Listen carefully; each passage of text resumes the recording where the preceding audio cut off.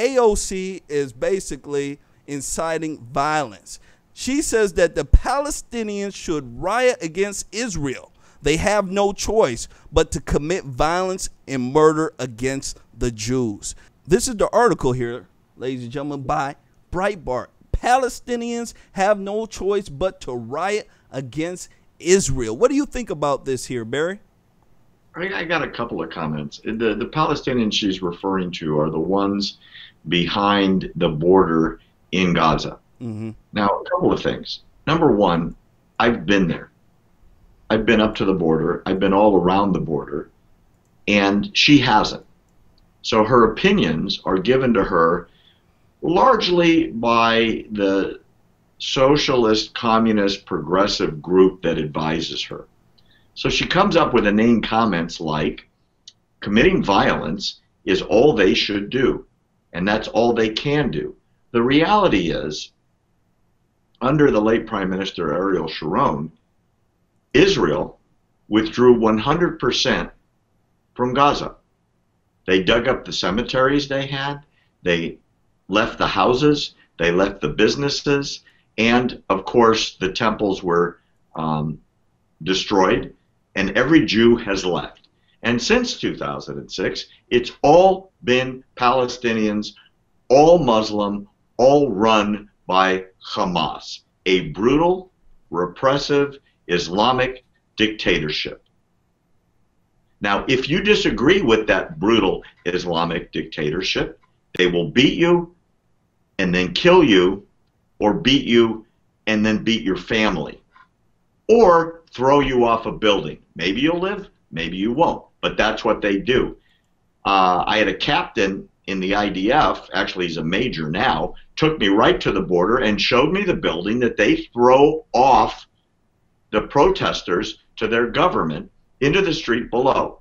And what this major showed me is the building is not very tall because they don't want you to die when you bounce off the street. Mm-hmm. They want you to die slowly in the street in front of a large crowd and anyone that comes to help you while you're dying and bleeding to death all over the street below, well, they take them up to the roof and they throw them off the roof. Now, is that the government that AOC wants to support? You betcha, baby. So when the Hamas government orders a thousand people or two thousand people to approach the border fence, riot, shoot through the fence, set kites on fire that float over and set Israeli towns on fire, bricks and homemade bombs thrown at the Israeli border guards. What she's really saying is she supports an invasion, killing Jews, because they have no choice. They have no choice about what. The reality is they're their own government. It's an independent, completely non occupied territory for over a decade. What they ought to be doing is getting rid of the leadership that's stealing all the money that's donated, billions and billions of a, a year from the UN and the EU and other rich countries, that the Hamas leadership parks in Switzerland. They live in massive estates, they fly on private jets, and the people that they are oppressing literally are starving to death. It has nothing to do with Israel. One more point that Go nobody ahead. seems to talk about. This is really important. I went to the border crossing. Every morning, hundreds of trucks line up coming from Israel into Gaza.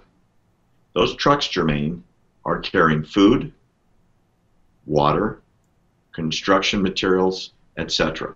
Hundreds of trucks thousands and thousands and thousands of pounds of supplies coming from Israel into Gaza. Those trucks used to come to Egypt, from Egypt on that side. They don't come anymore because Egypt cut them off because they were sick of the terrorism.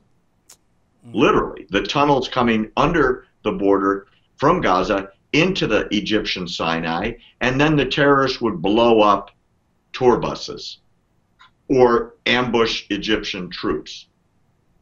They got tired of having their people killed, so they said, screw it. They started blowing up tunnels and cut Gaza off. So Gaza's connection is through Israel, and Israel gives them, like I said, millions and millions and millions of dollars worth of supplies, not once in a while, every day.